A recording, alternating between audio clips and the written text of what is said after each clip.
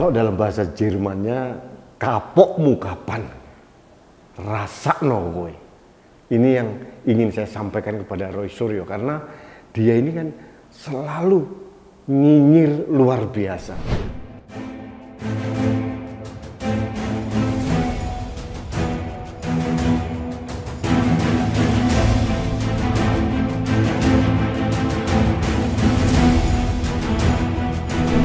Halo sahabat Indonesia, Opini Rudi.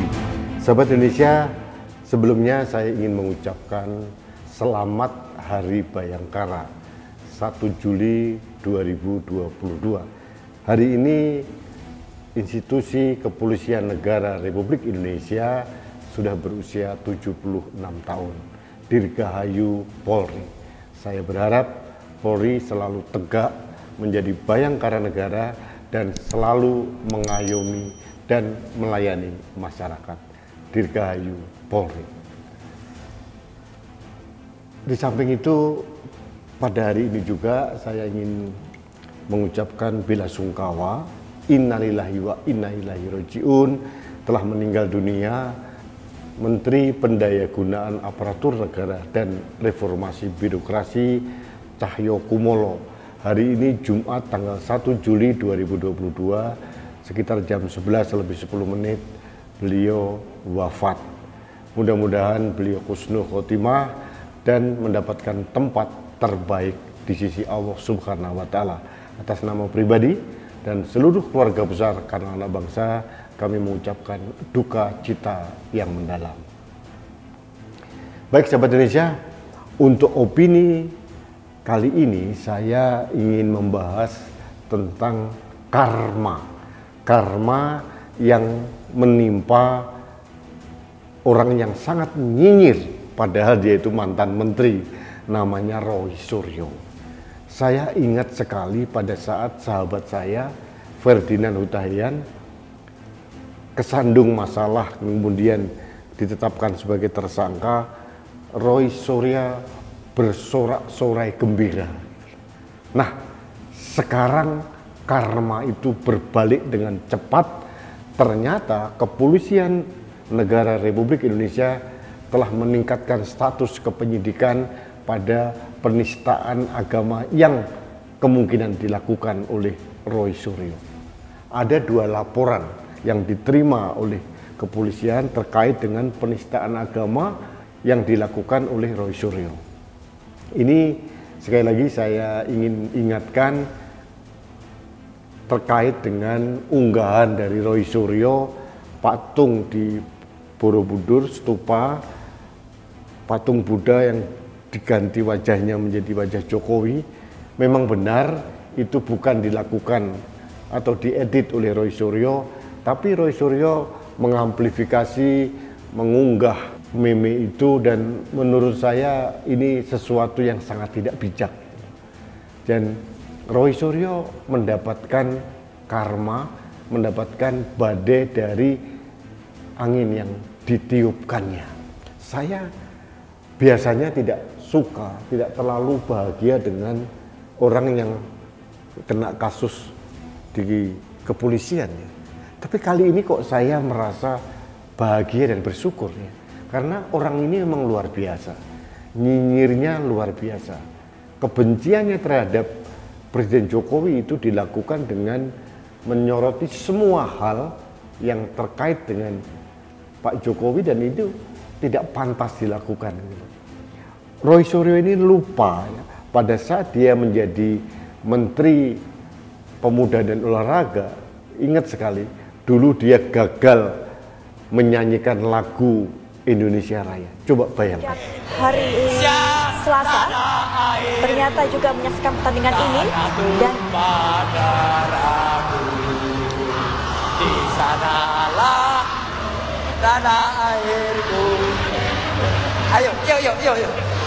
Seorang menteri tidak tahu syair dari lagu kebangsaan Indonesia Raya. Memalukan sekali.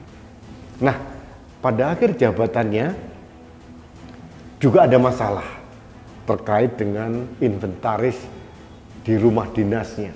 Yang bermasalah yang akhirnya di diamplifikasi oleh media seolah-olah dia membawa beberapa inventaris di rumah dinasnya. Meskipun sudah dibantah oleh yang bersangkutan sehingga banyak orang menyebut dia dengan Roy Panci katanya begitu saya sih tidak ikut terlibat di masalah itu.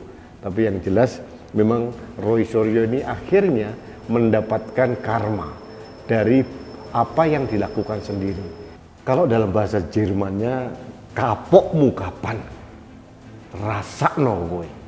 Ini yang ingin saya sampaikan kepada Roy Suryo karena dia ini kan selalu nyinyir luar biasa. Katanya ahli telematika, katanya mantan menteri, tapi tidak mencitrakan martabat dan marwah sebagai mantan menteri, sebagai ahli telematika, bahkan katanya keturunan dari keluarga Ningrat, katanya begitu.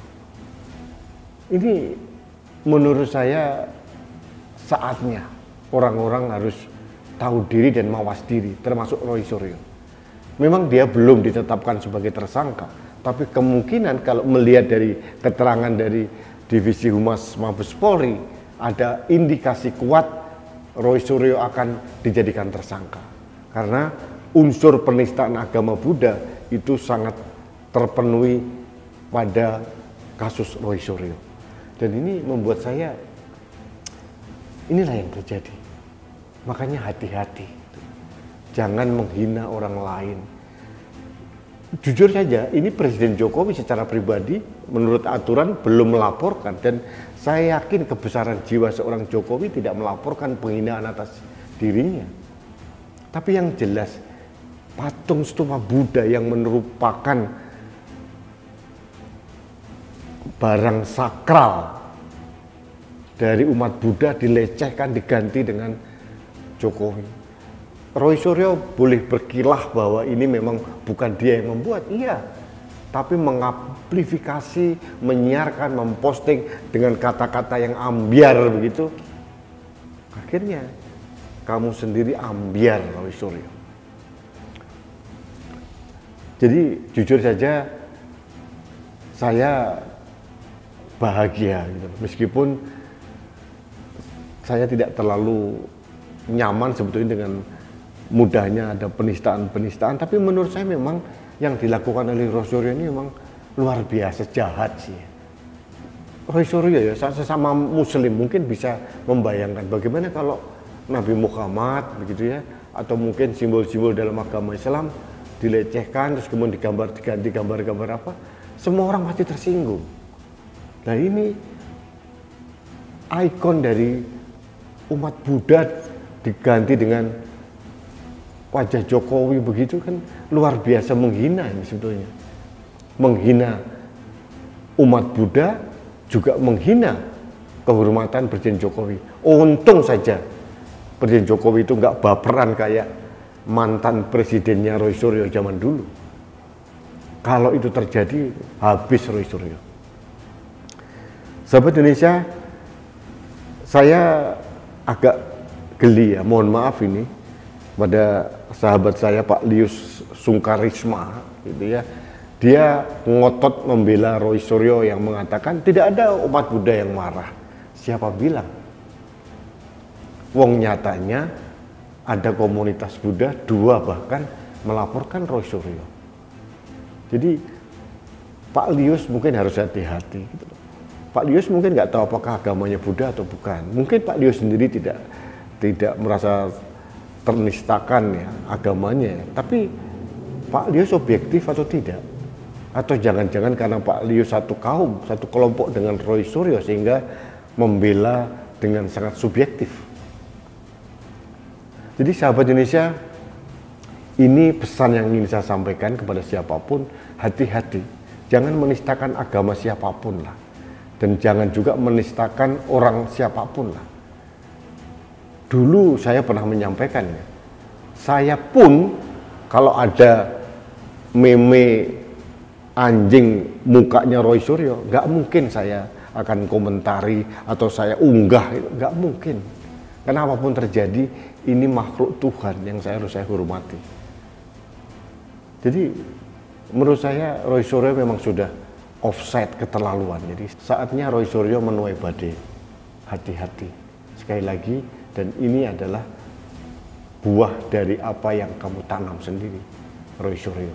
Jadi saya sebagai rakyat Indonesia, meskipun saya bukan beragama Buddha, saya ikut lega bahwa kepolisian tanggap karena pernah saya ungkit juga kok prosesnya Roy Suryo kok lambat sekali ya. Sedangkan kasus Holy Wing yang jauh lebih belakangan cepat direspon. Nah ternyata kepolisian Republik Indonesia juga sigap juga menindaklanjuti laporan terhadap Roy Suryo. Mudah-mudahan terus diproses dengan baik. Kalaupun jadi tersangka memang Roy Suryo harus legowo. Jangan dipolitisasi. Ini buah dari kerjaanmu sendiri.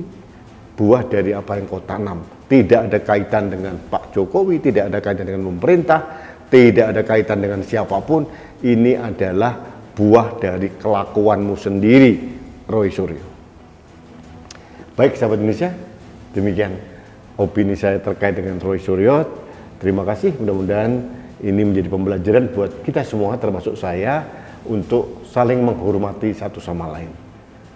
Menghormati sesama manusia, menghormati budaya, menghormati agama. Jadi ini yang terjadi kalau kita hidup dalam namanya bingkai negara kesatuan Republik Indonesia. Harus saling menebarkan ketentraman dan kedamaian, bukan sebaliknya. Terima kasih sahabat Indonesia, kita bertemu kembali dalam opini Rudi selanjutnya. Salam satu Indonesia, salam Pancasila, salam budaya Nusantara. Saya Rudi SKP.